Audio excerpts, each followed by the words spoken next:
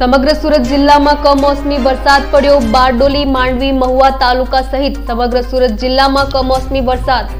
વરસાદી માહોલના કારણે ખેડૂતોની ચિંતા વધી, ખાસ કરીને ડાંગરનો પાક પકવતા ખેડૂતોની ચિંતામાં વધારો. હવામાન વિભાગ દ્વારા વરસાદની કરવામાં આવી હતી આગાહી. આ માવઠાની આગાહી પડી સાચી. માવઠાના કારણે ડાંગરનો પાક પકવતા ખેડૂતોને મોટું નુકસાન થયું.